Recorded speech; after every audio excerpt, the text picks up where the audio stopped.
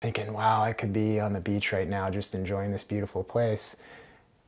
And for some reason, when you finish the race, your whole mindset changes and you're just hyped up on, on this adrenaline and you want to do more.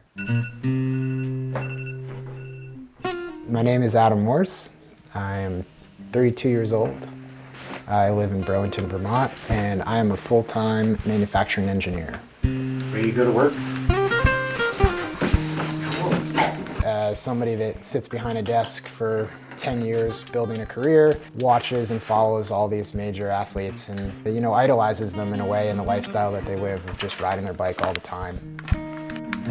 You know the drill. You chase that dream of, could I become good enough to do that? And then you quickly realize you gotta go to work on Monday, you got limited funds and limited vacation time. Last year I did a couple EWS qualifiers and ended up winning a few of them, which automatically qualified me for the entire World Series this coming year. As I'm getting older and I kind of looked at this opportunity as something that would only come around once. My company is really supportive and I'm in quite a lucky situation to, to have that freedom right now. But when it comes to travel, I have a very tight schedule of go to work Monday and Tuesday, fly out Tuesday night to Europe, practice Thursday, Friday, race Saturday, Sunday, fly home Monday, back to work on Tuesday. There was a lot of doubts going into this season, uh, especially with two rounds starting in South America. There's snow on the ground till April, so the idea of training for two longest races, most physically challenging races that I'll ever do, that are gonna happen in the middle of my winter, is a huge uh, weight on my shoulders. One step I've taken this year is I've started working with physical therapy and performance training gym locally, Vasta. Over the years, I've, I've just kind of trained by going as hard as I can because I don't really know any better. You know, all this time you think about lifting more, lifting as much as you can on those limited windows that you have, when in reality, you know, I'm not lifting more than 25 pounds with these, these folks.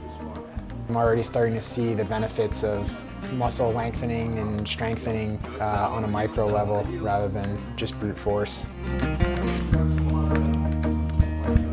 I love riding my bike. I really don't care about the racing. I just want to ride my bike and this is an avenue to go places all around the world and I'm curious to jump into it myself and just see what it's like to be part of that culture.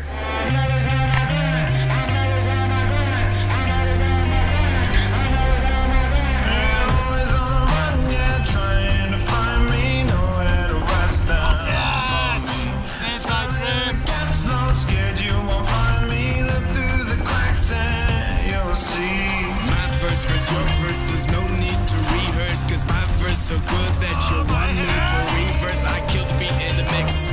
Taped off the crime scene, killing till it sticks. Then break out to my dream.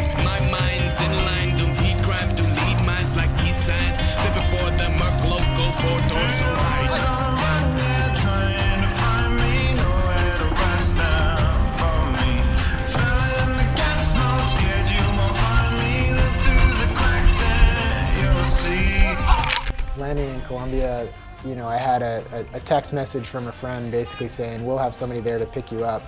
I've had a lot of help from friends in these first two rounds, putting everything together sort of last minute and just uh, going on the trust and, and good graces of these folks.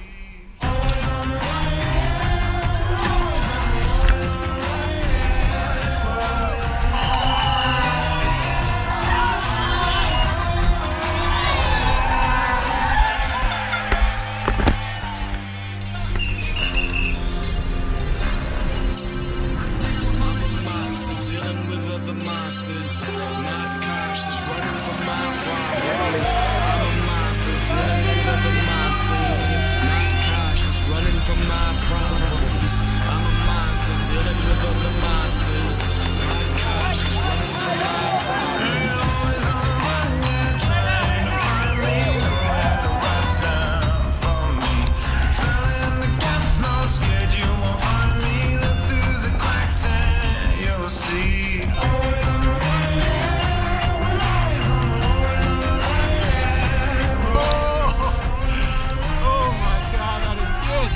huge element of, of winging it. I'm trying to do this on, on a budget to be able to stretch funds through the whole year.